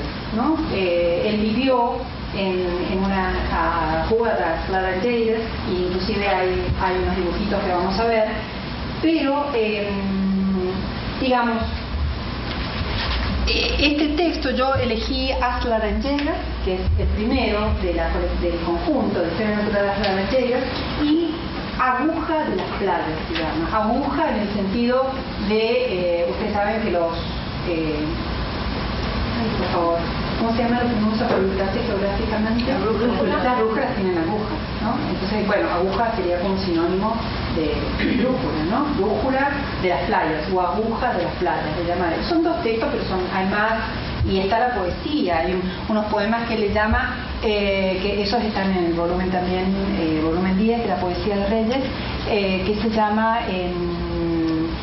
él traduce, le llama poemas, disculpen, del río de enero. A ver si me lo he puesto acá. Romances, disculpen, disculpen, Romances del Río de Enero, ¿no? De 1932. Son muy bonitos también en el volumen 10. Realmente es un, es un corpus, ¿no? Es para tomarlo y trabajarlo, porque es muy precioso, muy, muy, muy... Son poemas realmente este, eh, muy interesantes, sobre todo por este elemento que digo de la sensorialidad de la corporalidad, ¿no? que quizás en otros poemas de Reyes son mucho más intelectuales, ¿no? y estos revelan estas facetas. Bueno, em, en primer lugar, en Río de Janeiro, bueno, eh, la descripción de naturaleza y cultura, ¿no? Cuando él hace las descripciones de la ciudad, sobre todo en este texto, primero que les mencioné, a Laranjeiras, eh, lo que él muestra, lo que muestra mucho, es la invasión de la naturaleza en la cultura, ¿no? Como una ciudad que, eh, en la cual, digamos, prima más la presencia frente al Portland o, a la piedra, dice él, prima mucho más la presencia eh, vegetal, ¿no? la presencia de lo, vegetal, y este, inclusive, digamos, hace una a su propia casa, donde vivía en esta rúa Laranjeiras, dice, eh, sin salir de aquí, viene hasta nosotros la historia natural. Las flores de la Nochebuena eh, las estrellas federales que en Buenos Aires se pagan a precio de oro en aquella época, entran hasta la cocina y hay que cuidarse de no mezclarlas en la ensalada. Por el tajo de la montaña, al fondo solemos organizar nocturnas cacerías de gambás. Tal vez encontramos un coralillo escondido bajo un guijarro. Al menor descuido brota una planta en el salón o en el tejado un arbusto. Alzo ahora mismo los ojos sobre el muro de biblioteca ha corrido una lagartija. ¿No? Es muy bonito porque es realmente la invasión de la ciudad por la naturaleza. Y entre paréntesis, viví, vivencia autobiográfica. Luché con las lagartijas toda mi vida porque viví en Río varios años. Y, y, es verdad, ¿sí? Caminan todo el tiempo. Capaz que acá también, y no lo sé. Sí, también, ¿no? ¿Sí? Bueno. Este, bueno, Crónica y mapa urbano. ¿no? Este, fíjense que cuando hemos hablado de las otras ciudades que recorre el río, está presente la idea, ¿no es cierto?, del recorrido, un recorrido también antojadizo, ¿no? el recorrido del paseante que va sin objetivo y simplemente va eh, mirando haciendo lo que se llama no tiene objetivo, ya lo sabemos. La definió Benjamin, la definió eh, bueno, por supuesto, los escritores del siglo XIX, eh, Baudelaire, ¿no? Pero el planer, el planer camina sin objetivo, simplemente disfruta de caminar por la ciudad y no va a ningún lugar, va a todos. ¿no? Esta es efectivamente una real planería, no tiene objetivo, es simplemente un recorrido urbano donde uno puede doblar en cualquier esquina. Em, acá en Río es muy curioso porque por eso me detengo en esto de las agujas de las playas. Eh, Reyes quiere tener una brújula para Río, ¿no? Es decir, ¿cómo me ubico en este espacio? Evidentemente es un espacio que lo desborda, como lo desborda seguramente esta relación. Es un espacio que lo desborda, entonces lo trata de organizar. Y eso hace el, el texto eh, Aguja de las Playas. Bueno, este es un cuadro de Portinari, ¿no? Que también lo que hay una página preciosa en Cervantes sobre Reyes, ¿eh? no sé si la han visto. Eh, Cervantes Virtual, eh, pero no solo la biblioteca de Cervantes Virtual, tiene una página de escritores y hay un apartado sobre Reyes que recomiendo mucho porque tiene artículos muy bonitos. Bueno, esto es en Río, como ven, este, fondo natural. el fondo natural nos hace nos, decir, nos remite a esto que acabo de leer, ¿no? la invasión del agua, de la roca, ¿no? de la naturaleza, este contacto muy cercano, ¿no? Bueno, y este es el texto que les digo que se llama, bueno, esta es la Laranjeiras, ¿no? Donde, bueno, evidentemente, bueno, es la casa donde, que en un, en un, momento en este mismo texto describe la casa, parece que es una casa muy impresionante, de lo grande, lo importante, ¿no? Y que tenía palmeras al frente. No es un buen dibujo, no es buena la resolución, pero pero bueno, calculo que debe encontrarse el original para... ¿Cómo? Ah, no, estoy viendo, me gusta ¿Qué? Ah, el texto es muy bonito, sí. El abuso urbano es olvidar que la ciudad no es más que un accidente entre el suelo y el cielo, entre el vegetal y el aire. ¿No? ¿Qué definición? Cuando no domina la piedra, parece que hay escasa ciudad. Tal sería el prejuicio popular. En mucho campo, aunque tan espléndido como Río de Janeiro, hace creer que la ciudad es rústica, por más que se tenga a la vista. Milagro de concierto municipal. Bueno, después sigue, ¿no? Pero sigue un poco esta idea de, la, reflexión sobre lo urbano, ¿no? Que también es un tema precioso para Reyes, ¿no? La ciudad en Reyes, ¿no? Es decir, lo urbano, como la percepción. Bueno, y estos son los mapas, pero ¿por qué salió esto? Ay, Ay, qué tonta, no. Perdón, creo que en esta foto está Murilo Méndez, ¿no? Ah, sí, sí, sí, yo no me detuve, tenés razón. No, no hice la identificación, pero sí, es uno de los amigos, ¿no? Que tuvo en Río, un importante poeta, ¿no? Sí. Eh, pero, ¿saben qué? Me ha jugado una mala pasada, porque esto tenía otra página. Pero bueno, no importa, de todas maneras nos alcanza para ver lo que yo les quería mostrar. El texto se llama Aguja de las playas, como les dije, está en la página 486 em, de, de, de, este volumen 9. Y eh, lo que hace Reyes de, ha salteado una página, es dibujar un mapa, ¿no? Dibujar un mapa que le permita ubicarse en la ciudad, ¿no? Como una ciudad que lo desborda, entonces de un modo cartesiano necesita ordenarla, ¿no? Entonces hace un dibujo eh, con muchos detalles este, de, ese espacio urbano, ¿no? Eh, hay varios eh, en este artículo ¿no? con estos elementos además muy, este, parece Ramusio, ¿no? Un, barquito que va ahí por la bahía de Guanabara y la inicial Alfonso Reyes. ¿no? Este, ¿Ve otro? No. Bueno, en, el texto dice que la ciudad...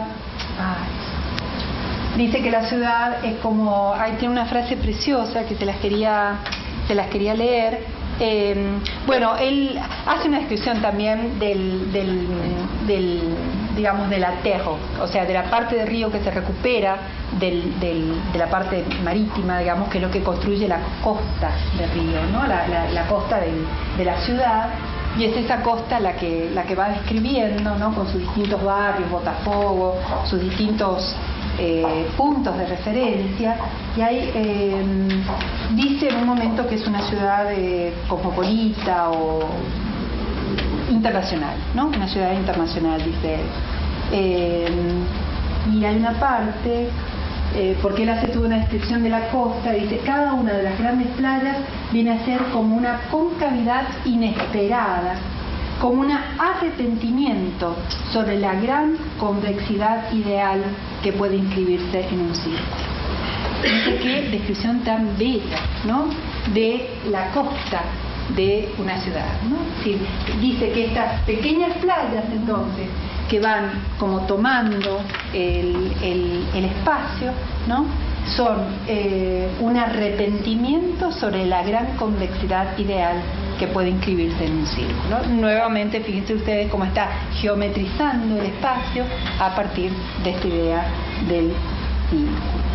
Bueno, lo interesante de este, además de este artículo y de la, de la percepción que tiene que tiene Reyes de Río de Janeiro, eh, bueno, en parte esto, ¿no? El paso del planer a la vista aérea, ¿no? La posibilidad de mapear el espacio. Otro punto importante es establecer el diálogo de las ciudades, porque en este artículo donde teóricamente está haciendo una descripción de Río, también eh, establece un diálogo y cuenta una pequeña anécdota que es la presencia en Río de Janeiro de una estatua de, eh, de una, sí, una, una, estatua de Cuauhtémoc, ¿no? Y cómo, digamos, hay una leyenda urbana, la cuenta, de eh, que dando tres vueltas a la estatua de Cuauhtémoc se tiene buena suerte. Entonces, fíjense cómo a partir de una pequeña anécdota establece un diálogo entre México y, Buenos, y, ah, Río de Janeiro, ¿no? Y después dice que ahora hay otro hito eh, mexicano en Río de Janeiro, que es un regalo que evidentemente ha hecho su, él como embajador, que es una estatua em, en el Jardín Botánico de eh, Hoshi.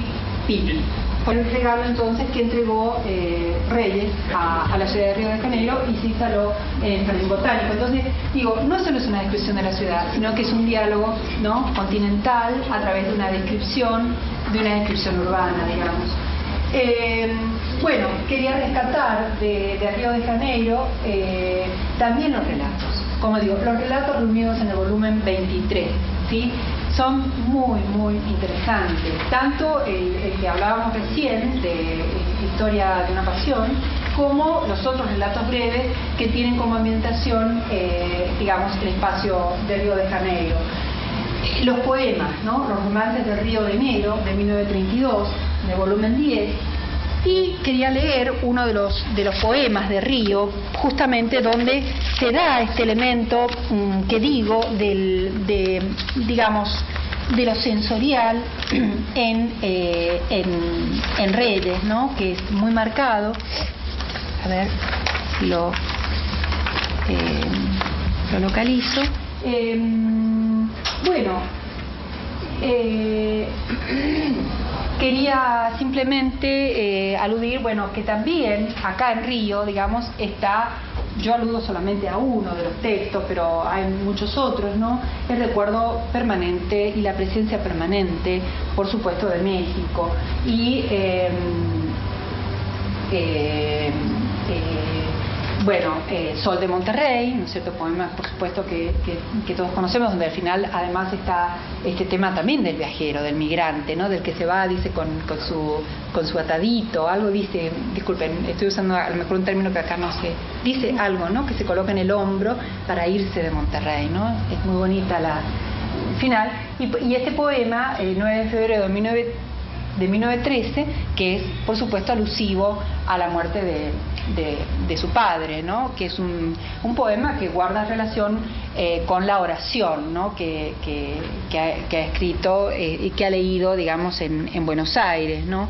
Eh, este, el podríamos leer el, el poemita, que es muy bonito, muy breve, porque ya nos da ingreso, aunque, sabe, aunque, aunque sea que Buenos Aires haya sido antes, pero nos da ingreso a algunos temas que vamos a tratar cuando hablemos mañana de, Buenos Aires y, de, los textos que escribe, de las relaciones que establece y también, eh, digamos, del, de lo importante que fue esa presencia, tanto para Reyes como para el campo cultural argentino, la presencia de, de Reyes de esos años en Buenos Aires. ¿no?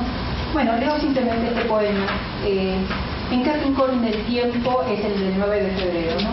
¿En qué rincón del tiempo nos aguardas? Desde que pliegue de la luz nos miras. ¿A dónde estás, varón de siete llagas? Tarde manada en la mitad del día. Cerebro de Caín y de metralla, humean los cadáveres en fila. Los estribos y riendas olvidadas y Cristo militar que nos moría. Desde entonces mi noche tiene voces, huésped mi soledad, justo mi llanto, y si seguí viviendo desde entonces es porque en mí te llevo, en mí te salvo, y me hago adelantar como empellones en el afán de poseerte tanto. Es precioso porque además este, condensa muchas de las líneas de la oración que me gustaría que, que repasáramos mañana, ¿no? porque hay, el poema es como una condensación de, así de, líneas centrales de, la oración de Reyes a, su padre y reúne, digamos, tanto la, esta imagen del, digamos, de la muerte, como algo muy hermoso que dice en, la oración al Padre, que es idea de llevar el muerto a cuenta, ¿no? que también a mí me hace acordar a Rulfo, ¿no? por eso digo que bueno, siempre uno lee y lee este, ya pensando en que esto en que esto va a ocurrir luego en la literatura. ¿no? Es un modo de leer a, Reyes, a lo mejor un modo intencionado, pero, pero esto de llevar el muerto a cuestas, ¿no? es, muy, es muy hermoso y muy fuerte porque, eh, bueno, porque tiene una significación eh, cultural, ¿no? no abandonar los huesos no abandonar los huesos de los muertos, ¿no? Y está la figura de Eneas, que es también tan fuerte para, para Reyes, que Eneas no abandona a su padre, ¿no? Lo lleva, lo lleva, lo lleva en los hombros, ¿no? ¿Cómo, cómo es? ¿Recuerdan, no? Pero hay una imagen de que lleva, digamos, a, su propio padre. ¿Sabes qué pregunta? Tengo un comentario sobre visión de Anáhuac. Sí. O sea, tus aportaciones me parecen maravillosas. Primero que nada te felicito muchísimo porque realmente creo que es muy importante para nosotros como mexicanos y como nuevoleoneses y regiomontanos que somos, que, que tenemos también a Reyes, lo traemos a cuenta, este, que haya una preocupación eh, al fin de, nuestro contigo, en, la parte eh, más al sur del continente por, por la, presencia de reyes en el arte y esta visión que tienes de reyes semilleros de las letras es, es maravillosa, o sea, es, es, verdad que es así y que hay mucho por despuntar. Eh, en relación a la visión de Anahuac, yo cada vez que lo leo, cada vez que lo leo, es un, una, ¿cómo decirte? siempre cuando, cuando voy a asesorar a un alumno en una tesis, que no se da mucho, ¿verdad? Pero cuando es, eh, mi, mi consejo es, enamórate de lo que vas a trabajar. Porque si no estás verdaderamente enamorado, lo vas a abandonar. Y en cambio, lo que te hace que vuelvas y vuelvas es, que te cautive el texto. A mí, uno de los grandes textos que se han escrito en este país es Visión de Anáhuac y me cautiva siempre que lo leo. Y me parece de una polivalencia maravillosa y en ese sentido yo eh, siento, o sea, coincido absolutamente con tu visión de erudito, ensayista erudito y eh, el ensayo nacional, etcétera, pero para mí es eh, un poema. Yo creo que, o sea, es que generalmente se dice, es que Reyes, eh, ese es un poema, pero nadie lo, lo, introduce como poema, ni él mismo. Yo ya lo introduje en ah, que acabo de hacer sobre Reyes.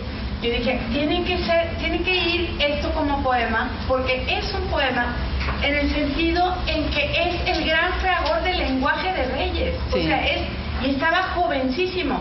Y yo discrepo de, algunos críticos que señalan... ¿Tenía cuánto? 20, eh, 24 25. No me acuerdo, sí, pero era muy joven.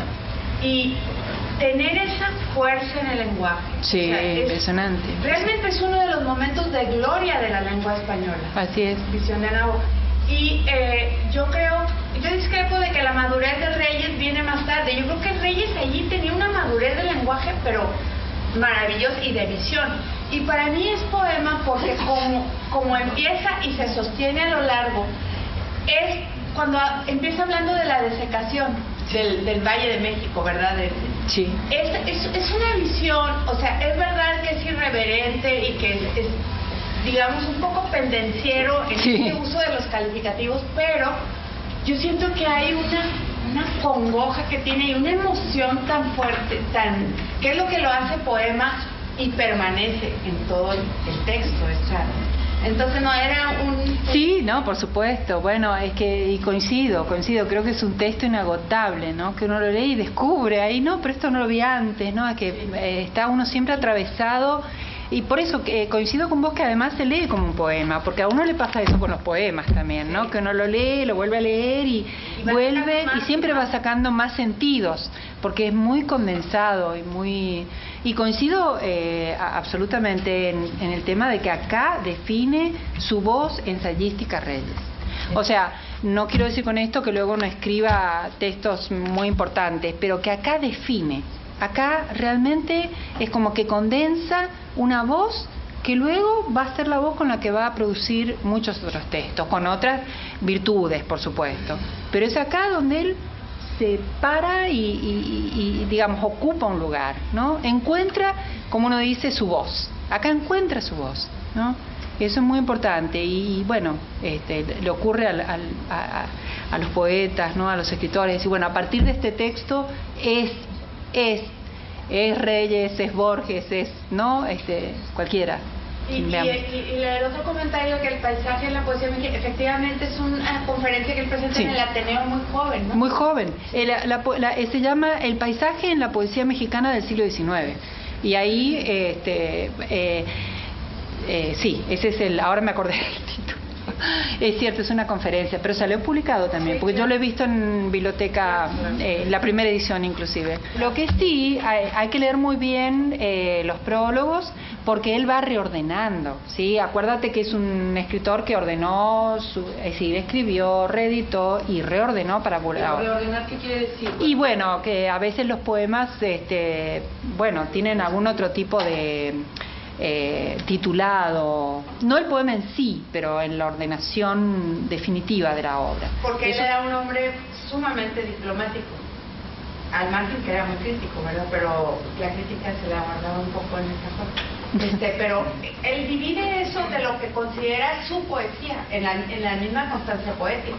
O sea, no lo descarta de que son poemas pero hace esa división. Sí, es verdad. Él todo el tiempo está, como, como señala Beatriz, este, ordenando y su escritura. Mm. Y su Pero Mañana los que vengan les vamos a regalar, además de los libros del font ah, de, la Cátedra de Reyes, una, una antología que hicimos aquí en la capilla. Para no leer no, pero para empezar. Para empezar. No, es verdad, pero lo que tú señalas es cierto, que uno a veces eh, se siente un poco como apabullada, ¿no? Por la cantidad de textos que escribe Reyes.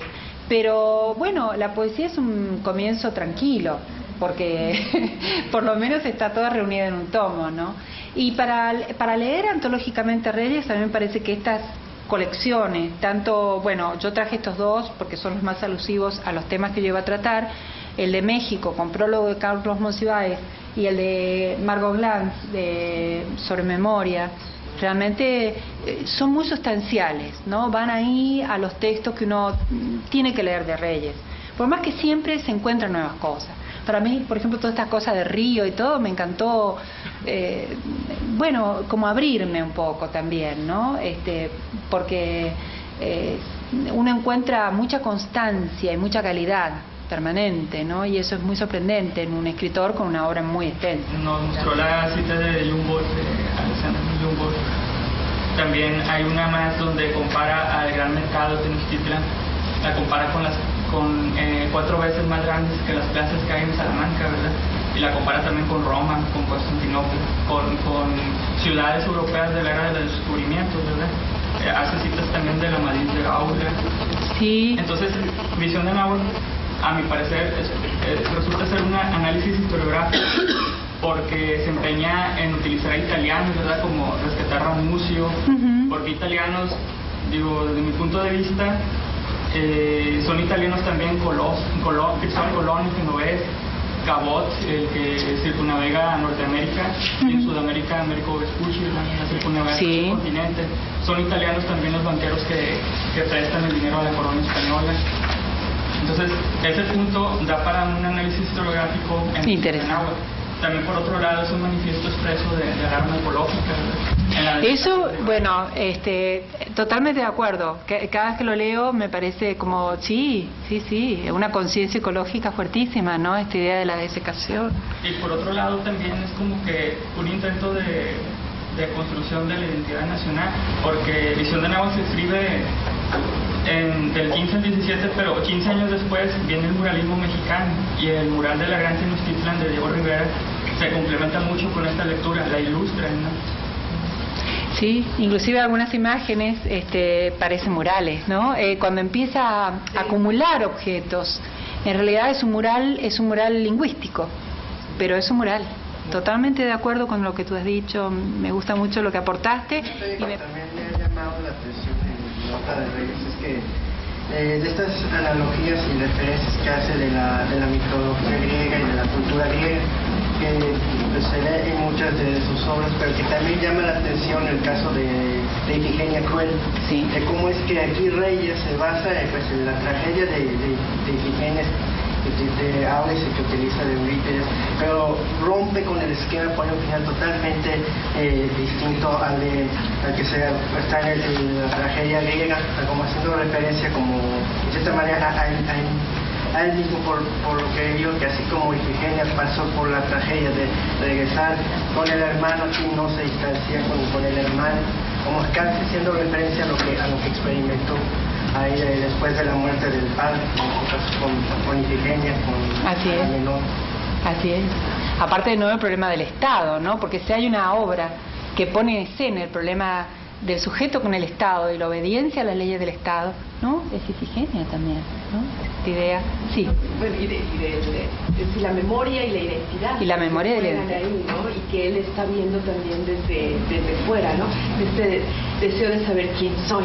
Así es, tiene, así es. tiene Ifigenia y esta posibilidad que, que decía de, de burlar el destino, ¿no? Así es. No lo sabías y ya sabes que los hombres se libran de ellas, ¿no? De las, Así de es. las, de las estrellas. A mí dentro de la, como parte de la, de la justificación de incorporar visión de Anáhuac a la, a la poesía de Alfonso Reyes, me parece importante de hecho que creo que Alfonso Reyes al, al escribir visión de Anáhuac toma una posición ontológica de, de cómo el texto debe de acercarse al, al objeto o a la cosa. Eh, y creo que tiene mucha relación con lo que con, esto que le dice Enrique Sureña de, que es muy complejo pues no se podía eliminar esa complejidad porque creo que en lugar de, de desdoblar al- al- a la cosa como lo haría un ensayista cualquiera pues lo que hace es presentar al, objeto. Y, bueno, creo que para mí eso es, la- una de las justificaciones más eh, fuertes que podría tener la, la incorporación de visión de Anáhuac a, a la poesía. Sí. Bueno, de, de hecho el espacio de la prosa poética, ¿no? Es muy, es, es, es un- como un definido, ¿no? Una especie de indefinido, pero que, que evidentemente, este, en fin, es- está ahí en el medio y que, y que participa, ¿no? Participa plenamente. ¿Sí? Muchas gracias, ¿eh?